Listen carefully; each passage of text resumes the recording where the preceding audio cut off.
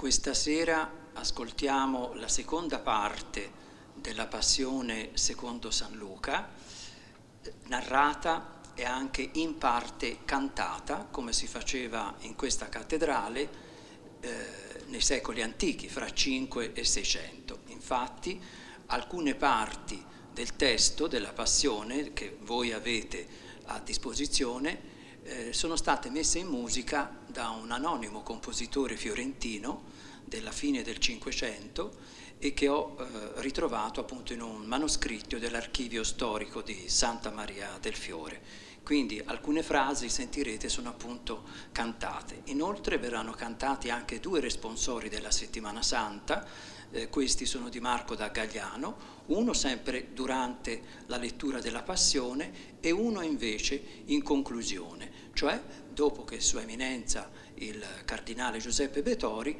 avrà eh, letto la, il suo commento, la sua esegesi appunto al testo della Passione. Eh, si faceva così anche in antico e dovete pensare che queste, eh, queste, narrazioni avvenivano ovviamente durante la settimana santa, ora noi le distribuiamo un po' diciamo nel periodo di Quaresima eh, e eh, era proprio prevista appunto questa alternanza fra le parole e la musica e chiaramente la musica serviva e serve a intensificare proprio il significato del testo, quindi le parole messe in musica che sono soprattutto gli interventi della turba, del popolo, eh, mettendole in musica gli si dava appunto un risalto ovviamente maggiore, quindi per trasmettere ancora meglio l'emozione eh, della, della, sofferenza, della narrazione appunto della passione. Eh, ringrazio ancora una volta l'Opera di Santa Maria del Fiore per il sostegno a questa iniziativa che fa parte della 25esima edizione della rassegna musicale Floscolende e ringrazio ovviamente il Cardinale Arcivescovo per il dono che ci fa di queste preziose esegesi bibliche. Passione di nostro Signore Gesù Cristo, secondo Luca capitolo 22, versetti 39 e 71.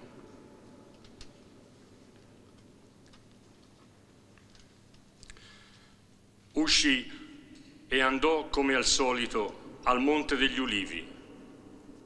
Anche i discepoli lo seguirono. Giunto sul luogo, disse loro, pregate per non entrare in tentazione.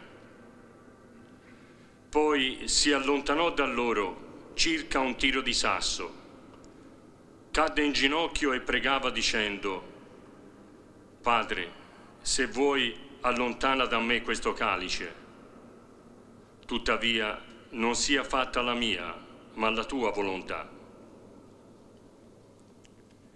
Gli apparve allora un angelo dal cielo per confortarlo.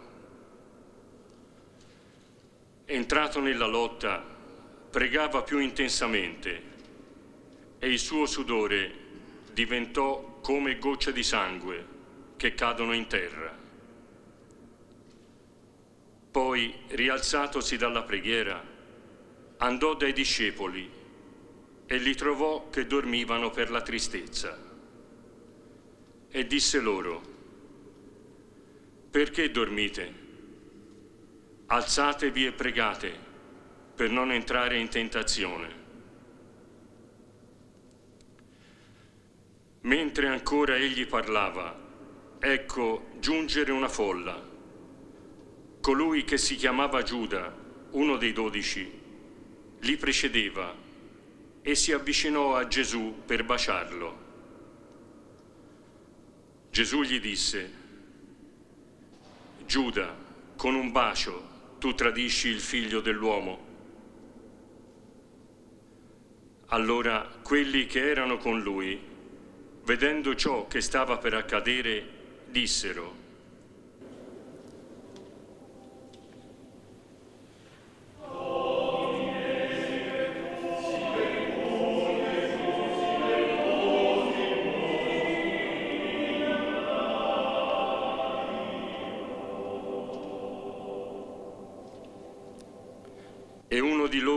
colpì il servo del sommo sacerdote e gli staccò l'orecchio destro. Ma Gesù intervenne dicendo, lasciate, basta così. E toccandogli l'orecchio, lo guarì. Poi Gesù disse a coloro che erano venuti contro di lui, capi dei sacerdoti, capi delle guardie del Tempio e anziani, come se fossi un ladro, siete venuti con spade e bastoni. Ogni giorno ero con voi nel Tempio e non avete mai messo le mani su di me. Ma questa è l'ora vostra e il potere delle tenebre.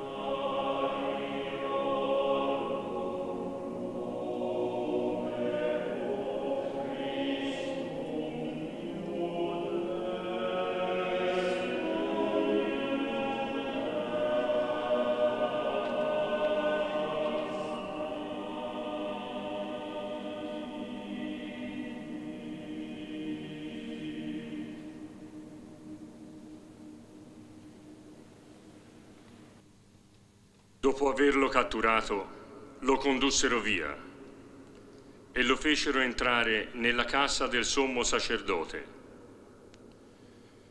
Pietro lo seguiva da lontano. Avevano acceso un fuoco in mezzo al cortile e si erano seduti attorno. Anche Pietro sedette in mezzo a loro.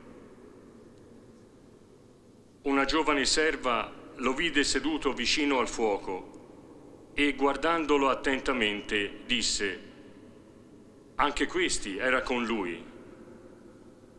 Ma egli negò dicendo, O donna, non lo conosco. Poco dopo un altro lo vide e disse, Anche tu sei uno di loro. Ma Pietro rispose, o uomo, non lo sono. Passata circa un'ora, un altro insisteva. In verità anche questi era con lui. Infatti è Galileo. Ma Pietro disse, O uomo, non so quello che dici. E in quell'istante, mentre ancora parlava, un gallo cantò. Allora il Signore si voltò e fissò lo sguardo su Pietro. E Pietro si ricordò della parola che il Signore gli aveva detto, prima che il gallo canti, oggi mi rinnegherai tre volte. E uscito fuori, pianse amaramente. E intanto gli uomini che avevano in custodia Gesù lo deridevano e lo picchiavano. gli bendavano gli occhi e gli dicevano,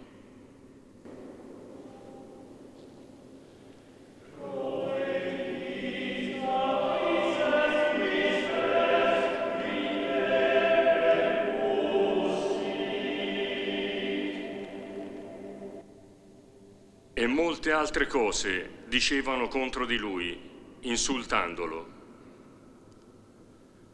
Appena fu giorno, si riunì il consiglio degli anziani del popolo con i capi dei sacerdoti e gli scribi. Lo condussero davanti al loro sinedrio e gli dissero,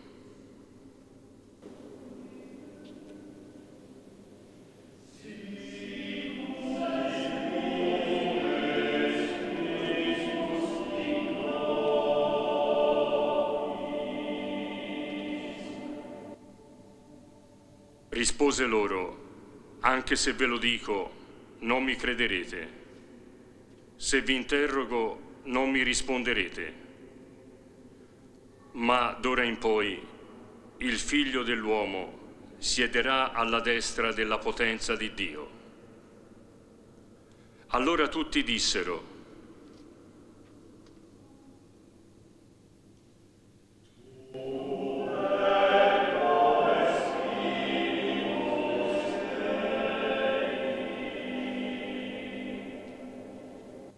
Ed egli rispose loro, voi stessi dite che io lo sono. E quelli dissero,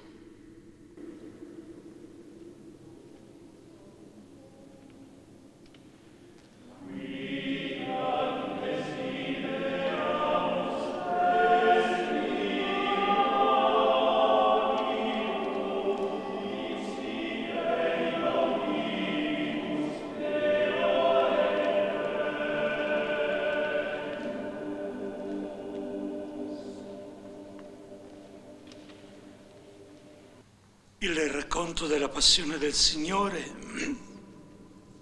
dopo l'antefatto della cena, entra nel vivo degli avvenimenti, ma la narrazione della cena ci ha già segnalato che ci sarà un discepolo traditore e un altro discepolo rinnegherà il Maestro, soprattutto nei gesti compiuti durante la cena Gesù ha svelato il significato del suo imminente sacrificio e ha lasciato ai suoi un testamento. Ora Gesù con i suoi discepoli va nel luogo abituale della preghiera, al Monte degli Ulivi.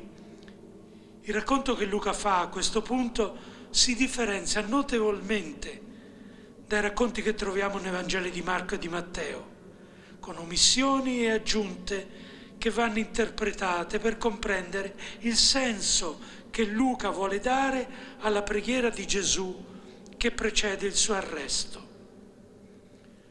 Luca tralascia il nome del luogo verso cui Gesù si dirige, il Getsemani, mentre indica il monte alle cui falde questo luogo si trova. Questo perché il monte nel Vangelo di Luca, il luogo della preghiera di Gesù. E nella sua ultima settimana egli ci ha detto durante il giorno insegnava nel Tempio, la notte usciva e pernottava all'aperto sul monte detto degli ulivi.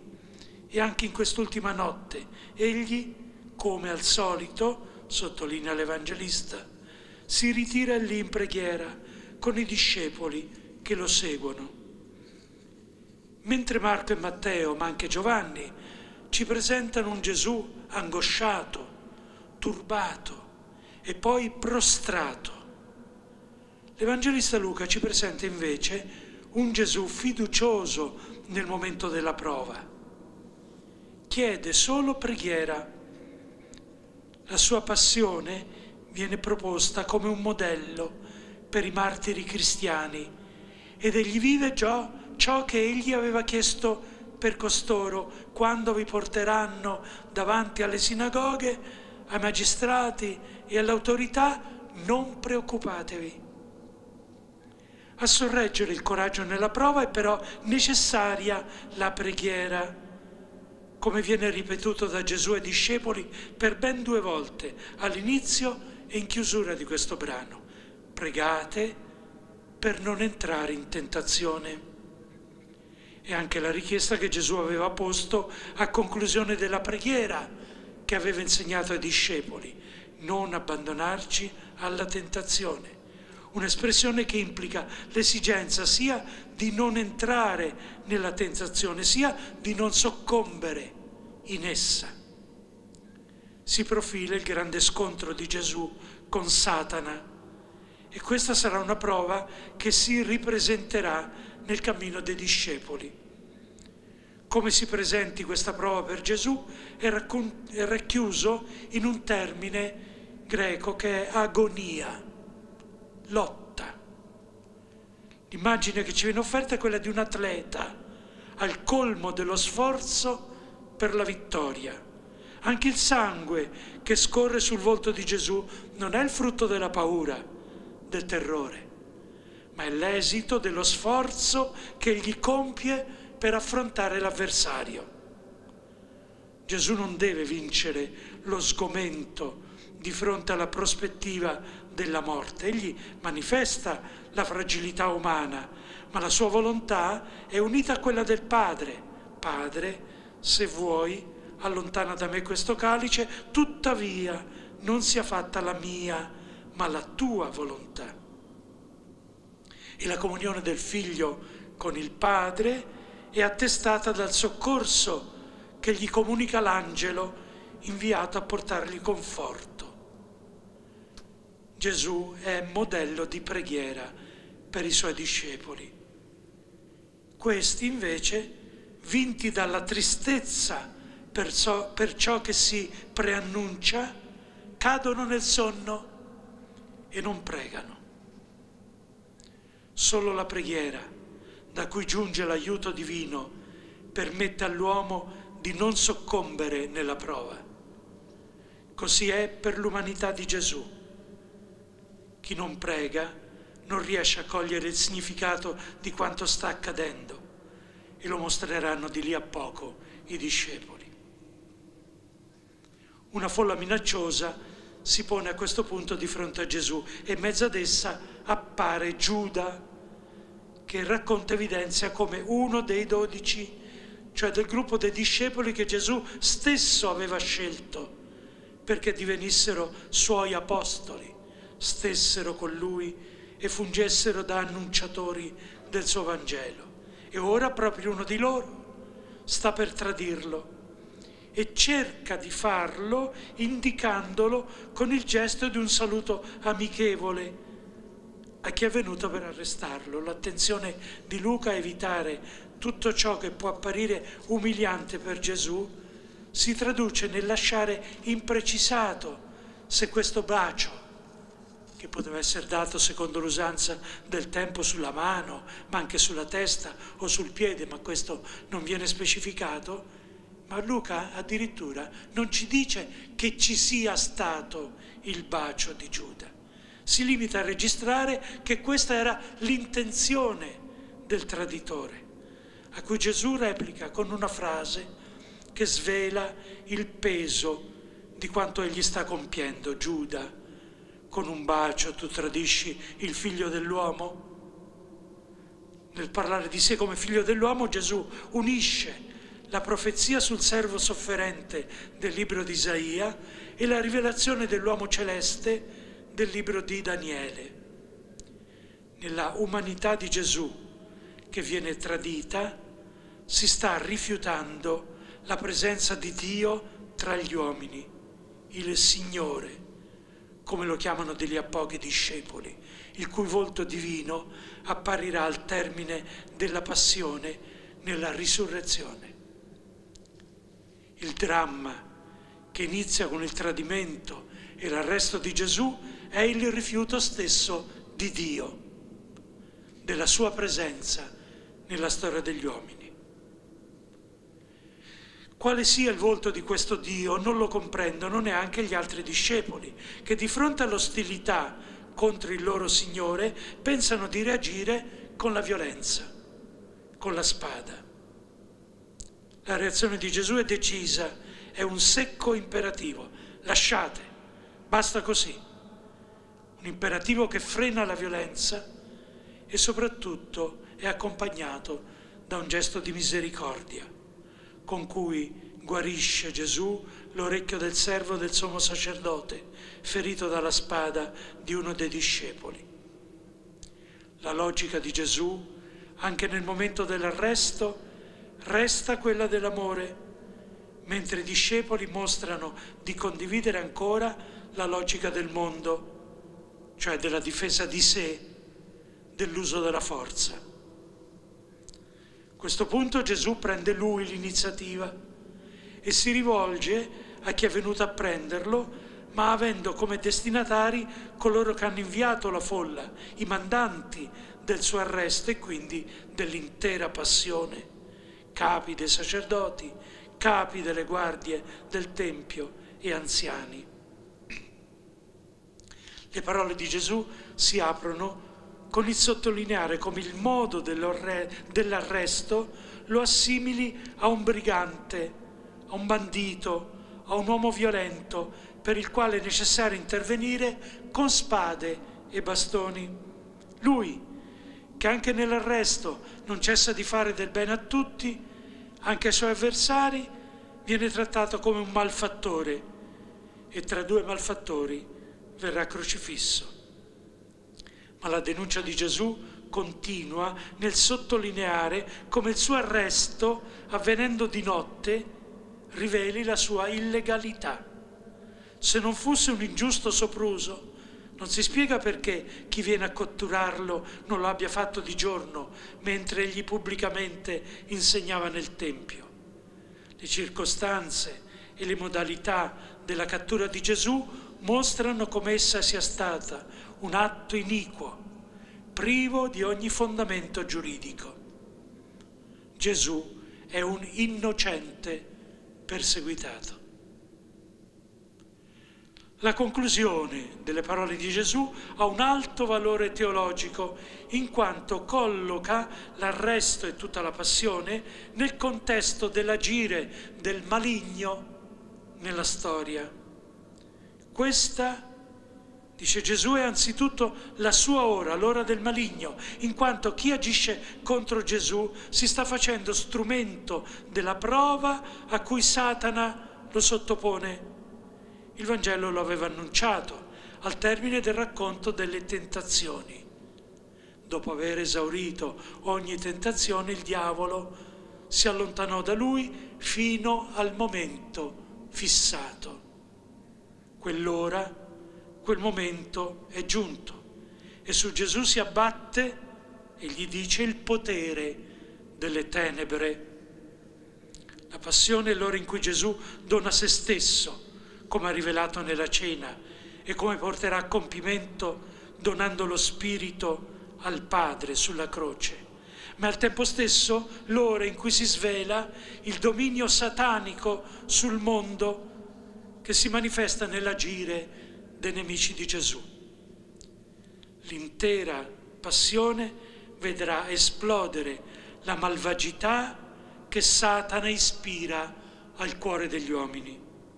Poi però ci sarà la risurrezione a mostrare come questo dominio non è assoluto, ma viene vinto dall'amore del Padre che risponde all'amore del Figlio. Luca è preoccupato ancora una volta di non ledere la dignità di Gesù e non ci descrive il suo arresto, lo dà per fatto. Allo stesso modo evita di umiliare i discepoli e tace, dandolo per scontato, che essi si disperdano. In estrema sintesi, la narrazione afferma, dopo averlo catturato, lo condussero via il luogo verso cui si dirigono è la casa del sommo sacerdote. Lì, prima ancora di dirci qualcosa su ciò che accade a Gesù, l'Evangelista, spostando quanto gli altri Vangeli narrano in seguito, mette in primo piano il rinnegamento di Pietro e il suo pentimento. Che il primo dei dodici abbia rinnegato il suo maestro, avrebbe rinnegato il suo maestro Gesù lo aveva preannunciato al termine della cena.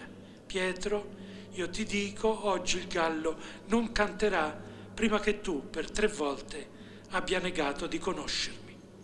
Ed è quanto accade nel cortile della casa del sommo sacerdote, in cui Pietro aveva seguito Gesù, ma annota l'Evangelista, lo aveva fatto da lontano. Pietro non abbandona il Maestro, ma sta lontano, ne prende le distanze, al punto da cercare di nascondersi tra la folla che lo aveva catturato e ora si riscalda al fuoco nel freddo della notte. Non vuole abbandonare Gesù, però non vuole lasciarsi coinvolgere nella sua passione. Ma tre precise accuse vengono rivolte a Pietro da tre diversi testimoni. Egli è uno di quelli che stavano con Gesù, faceva parte del suo seguito, egli appartiene al gruppo di coloro che erano con Gesù, egli è tra quelli che erano uniti a Gesù, a cui si aggiunge la provenienza dalla Galilea. Tre accuse a cui Pietro in Luca non risponde con giuramenti, ma semplicemente negando. Egli non conosce Gesù, egli non è dei suoi discepoli, egli non sa neanche di che cosa si sta parlando. La distanza da Gesù diventa una separazione da Lui. Mentre Pietro pronuncia il suo terzo rinnegamento, Gesù si volta verso di lui e pone su di lui il suo sguardo di perdono. Quello sguardo, mentre il gallo canta, provoca la memoria di Pietro e lo riconduce alle parole di Gesù alla fine della cena, che ora egli comprende pienamente. Prima che il gallo canti oggi mi rinnegherai tre volte. È il momento della conversione, del distacco dai nemici di Gesù e delle lacrime del pentimento. Uscito fuori, pianse amaramente. Ogni discepolo deve sapere che nulla lo garantisce dalla sua fragilità, ma più forte di essa è l'amore del Signore, il cui perdono è capace di muovere a conversione, così che si possa realizzare la missione che ci ha affidato. Nello sguardo di Gesù si compie quanto egli aveva preannunciato. Simone, Simone, ecco, Satana vi ha cercato per vagliarvi come il grano, ma io ho pregato per te perché la tua fede non venga meno e tu, una volta convertito, conferma ai tuoi fratelli. Luca a questo punto sposta la scena degli oltraggi di cui ha fatto oggetto Gesù, mentre Marco e Matteo essi fanno seguito al processo e sono una conseguenza della condanna, in Luca essi precedono l'interrogatorio di Gesù e rappresentano un passatempo delle guardie prima che il Sinedrio cerchi di formulare le accuse contro di lui. In quello stesso cortile in cui Pietro aveva rinnegato Gesù ed era stato raggiunto dal suo sguardo di misericordia, si svolge ora una scena crudele che ha il carattere dello scherno. Ad agire sono le guardie che hanno in custodia Gesù nel palazzo del sommo sacerdote.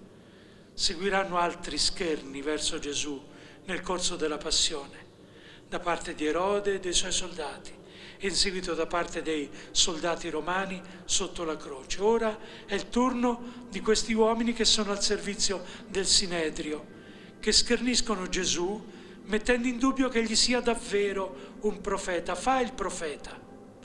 Chi è che ti ha colpito?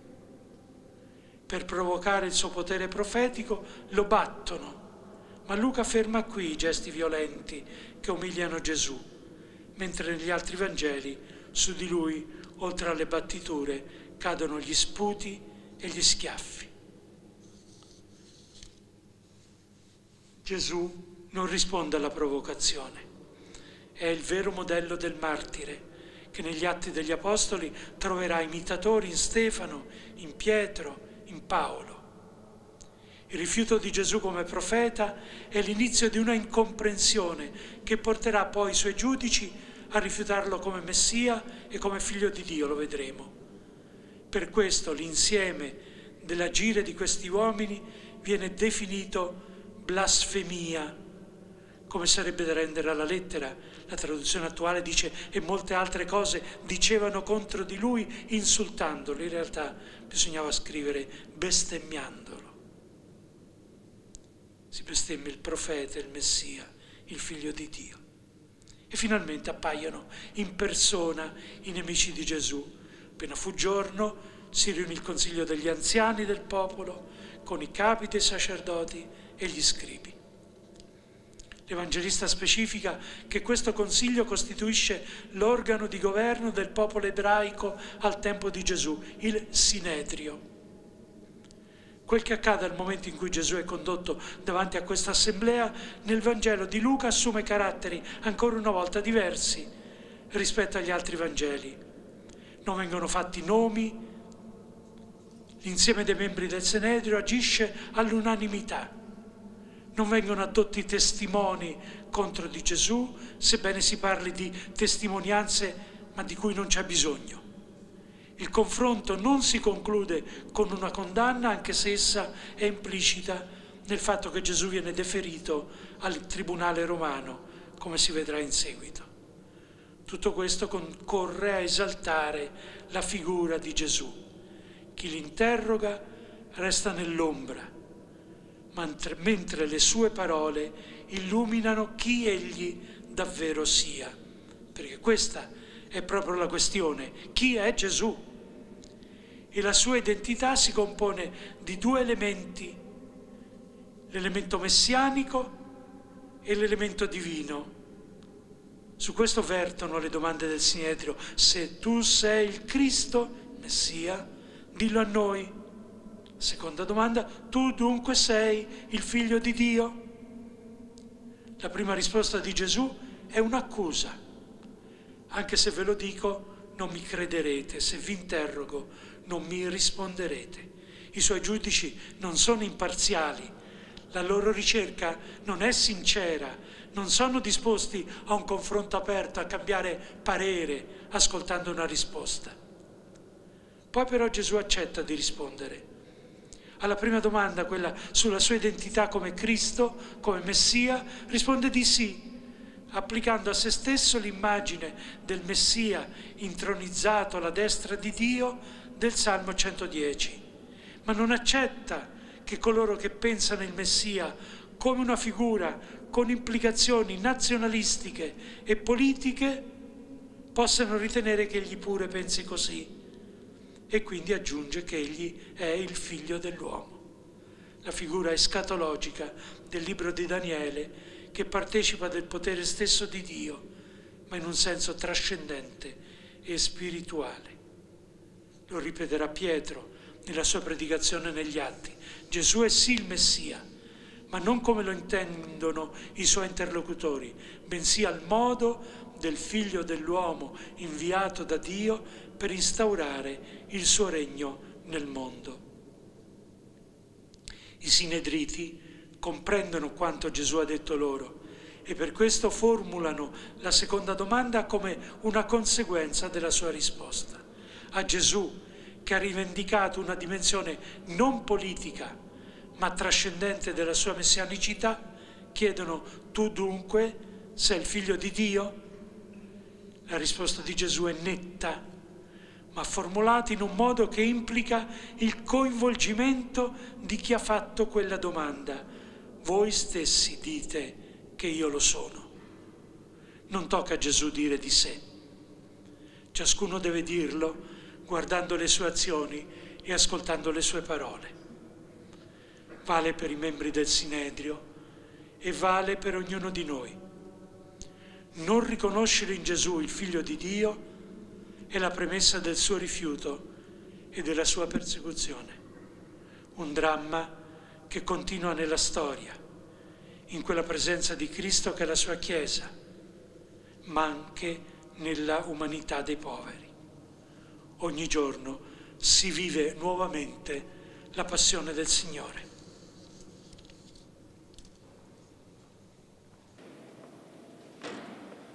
Thank